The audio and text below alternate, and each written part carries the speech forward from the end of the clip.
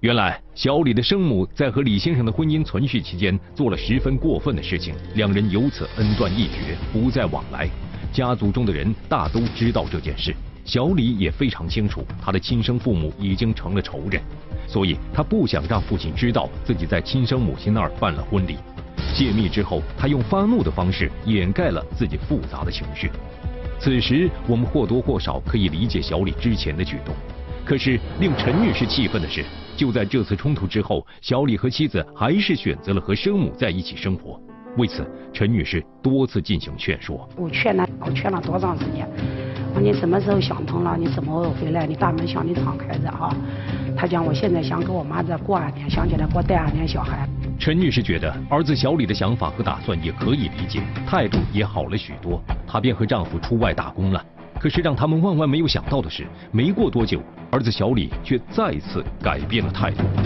突然间，他又打电话叫我们来家分家，要分他妈的房子，不回来不行啊！他就一个电话一个电话，他你就过上班的上班。我们刚到家，他又跟他妈、他姨、他老婆都来闹事，那两口子上来来打我，儿媳妇骂我。骂的难听呐，特别难听。后来了，打派出所电话，才把这事给平息。啊，派出所来了就讲你们要东西上法院就要。我把他妈的离婚书都给他派出所人家看了，人家你无理取闹，再再这样就直接逮你们了。第二天他们又到法院去，我就听人家就说了，他们去告你们了。后来我就跟我老公让骑着三轮车撵到那半路上，我们就讲你下来跟你说几句话，不行，手点着他爸。你是谁？我认识你吗？我跟你有关系吗？那是他妈跟那个男的，就是他妈找那个男的，还有他舅、他媳妇都在车上面。你当时追过去，你是想跟他说什么？就想跟他说，是你妈先抛弃你爸，他走了这么多年了，不是你爸不要他的。你是希望他们不要去上法院？哎，对，我讲你一旦对簿公堂了，你父子永远这结都解不开了，是不是？我老公我不想看到他难过，其实我老公人特别好，善良。有时看他偷哭的时候，我心里难受。小李，你当时电话里说的还好好的，这个事有什么事好好说。但不久你去家里闹，那一次是干嘛？我父母离婚的时候，是我父亲承担了呃三万块钱的债务，然后我母亲是净身出户，我父亲就是还掉两万，还差一万，这一万是欠我舅的。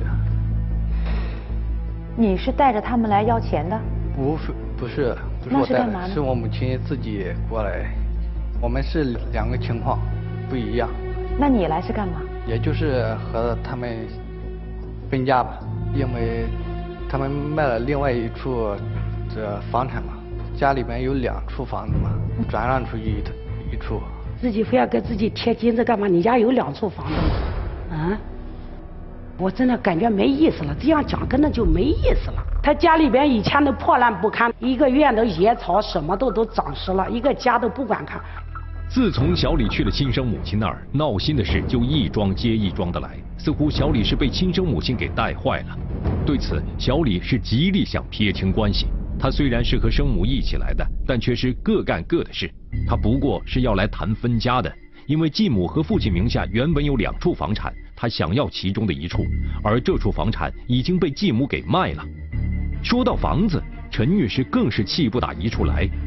陈女士说，卖掉的根本就不是房子，而是一块荒废了许久的空地。丈夫家原本只是一层破旧的平房，她嫁过来后，拿出自己打工赚的好几万块钱来修建房子，对这个家她可谓是倾尽了全力。可是到头来，自己却成了炮灰，被继子和儿媳妇针对，陈女士委屈不已。